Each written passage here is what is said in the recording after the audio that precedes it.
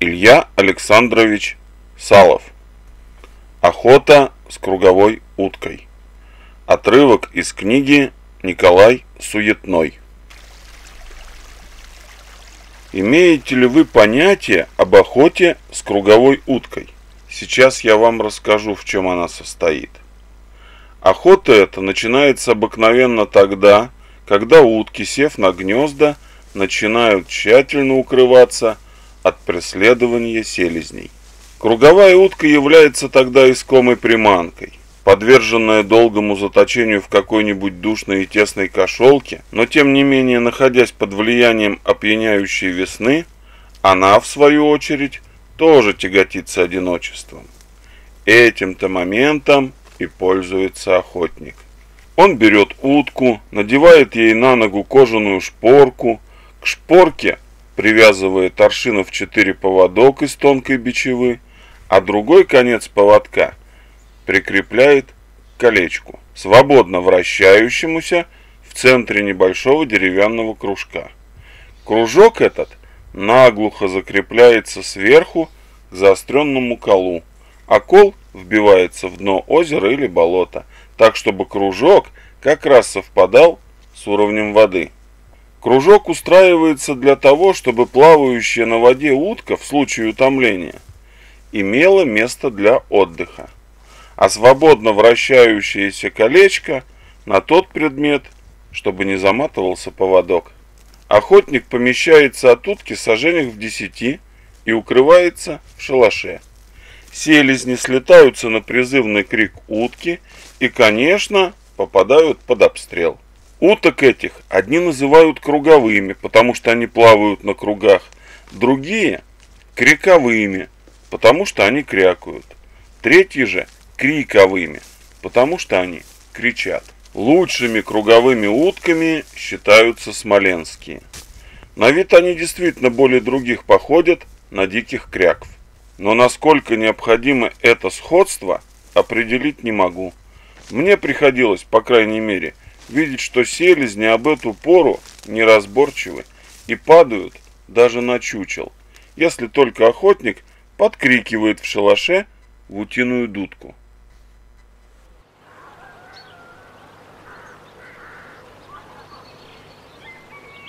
В назначенный час я был уже у Николая. Он оказался прав, объявив, что любой мальчишка укажет мне на его хату. Мне указал ее такой клоп, который даже путем говорить не умел. Мы не замедлили отправиться в путь. Осмотрели жерлицы, и Николай опять взял двух самят и трех довольно больших судачков. Собрав добычу и снова поставив жерлицы, мы уселись в лодку. Обогнули остров и принялись опускать перемет. Перемет Николай опускал мастерски, тихо, осторожно. При малейшем шуме, производимом мной, Николай быстро оглядывался, делал недовольное лицо и шепотом приказывал мне не шуметь. «Место здесь глухое», — говорил он, — «народ ходит редко, а потому рыба здесь строгая, чует, даже когда человек по берегу идет. Значит, надо осторожно». И точно, он действовал так осторожно, что не производил ни малейшего шума. Чтобы не стучать ногами о лодку, он даже разулся, а мне под ноги бросил охапку сухой прошлогодней травы. Когда уже совсем стемнело, мы, вытащив на берег челнок, шли с Николаем по направлению к Микишинским болотам. Ночь была до того темная, что если бы не Николай, то я, конечно, никогда не разыскал бы ни болота, ни устроенных на нем шалашей. Впоследствии оказалось, что их и днем даже трудно было рассмотреть, ибо они скорее походили на кучу сухого мусора, нанесенного водой, уж никак не на шалаши. Мы порешили провести ночь вместе, а с приближением утренней зари разойтись. Выкурив две-три папиросы, я завернулся с головой в драповую охотничью чуйку и, утомленный продолжительной ходьбой, вскоре уснул.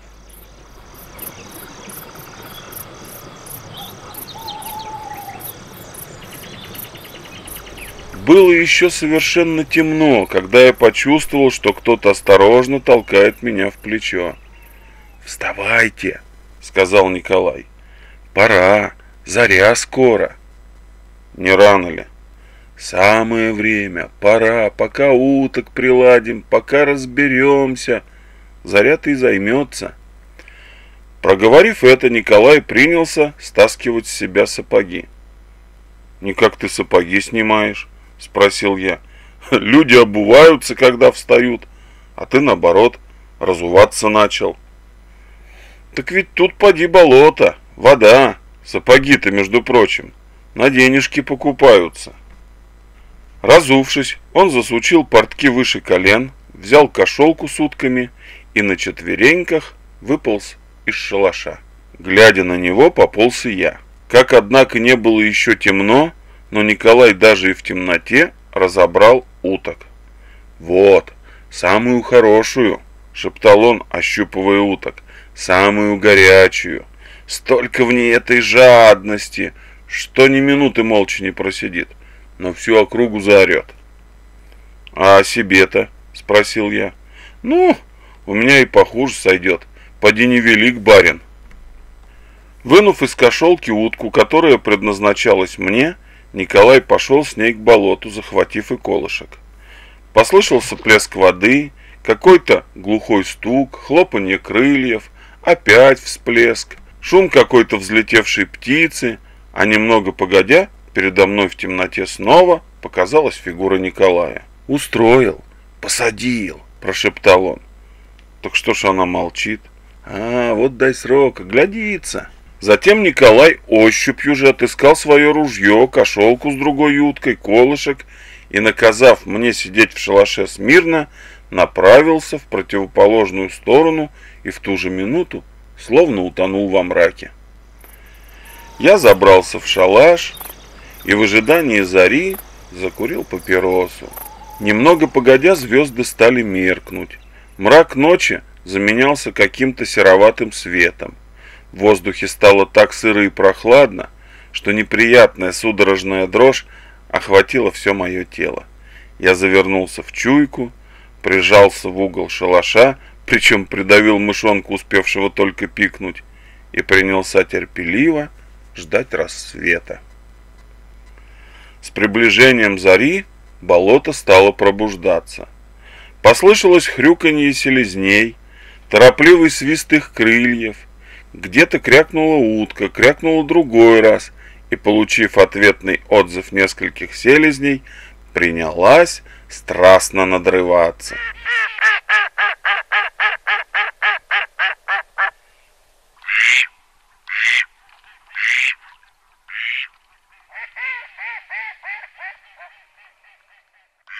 Хрюканье селезней послышалось ближе, что-то шлепнулось в воду, скользнуло по ней, Раздалась какая-то возня, драка, плеск воды, хлопанье крыльев, и потом все замолкло. Я взглянул в отверстие шалаша, но моя жадная утка сидела себе нахохлившись на кружочке и словно окаменела. Но вот восток заолел, сначала чуть заметно, потом все ярче и ярче. Звезды исчезли, словно кто-то дунул на них и потушил. Огонь разлился по горизонту, и на ярком фоне этом чернели кудрявые кусты тальника. Я встал на колени и принялся смотреть на все это дело в дырочку шалаша. Было тихо. Вдруг раздался страшный, оглушительной силы выстрел.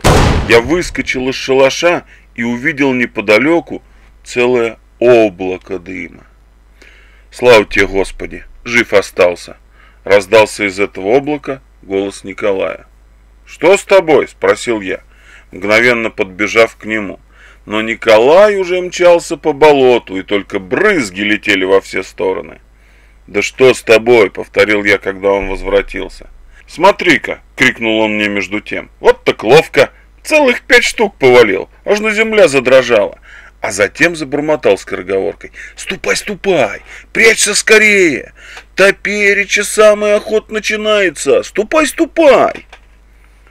Только после я узнал, что Николай имел обыкновение в один из стволов сыпать целую горсть пороху на случай, когда много уток соберется. Полыснет бывало и брык! Слава тебе, Господи, жив остался. Выстрел этот помог мне открыть место пребывания Николая, его шалаш, и вместе с тем рассмотреть плавающую неподалеку круговую утку.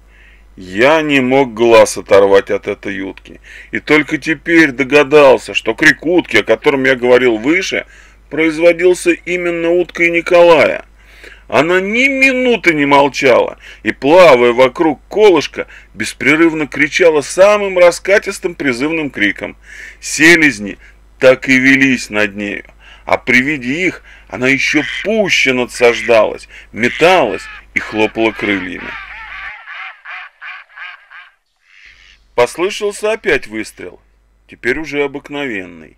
Я посмотрел на свою утку. Даже ружейный выстрел не пробудил ее от апатии, и по-прежнему она продолжала сидеть, скукожившись на излюбленном ею кружке. Николай продолжал между тем подстреливать и подбирать битых селезней. «Однако ты меня поддел ловко», — проговорил я, когда Николай, весь увешанный селезнями и со щекой избитой в кровь, подошел к шалашу. «А что?» «Нечего сказать, удружил. Утка-то твоя прославленная, хоть бы разок рот разинула». «Ну», — удивился Николай и развел руками. «Вот тебе и ну». «Ах, дьявол! Ах, проклятая Аханафима! А ведь какая утка-то, а? Жадная, скорбная». «Уж именно, что скорбная». «Что ж это такое? Что за оказия?» «Нет, проклятая. Моя ничего, орал ловко. Сколько же ты наколотил-то? Тринадцать. Вот смотри, проговорил он, пересчитывая развешанных на поясе селезней. Тринадцать, верно. Эх, хороши штуки-то. Хороши-то хороши, только тебе не миновать беды. Как так? Ну разве можно горстями порох сыпать? Да ведь это поди мушкетон турецкий. Выдумал еще. Верно тебе говорю. Ты погляди-ка стволины-то какие. Да это простая тульская двустволка, проговорил я, рассматривая на стволах надписи клеймо.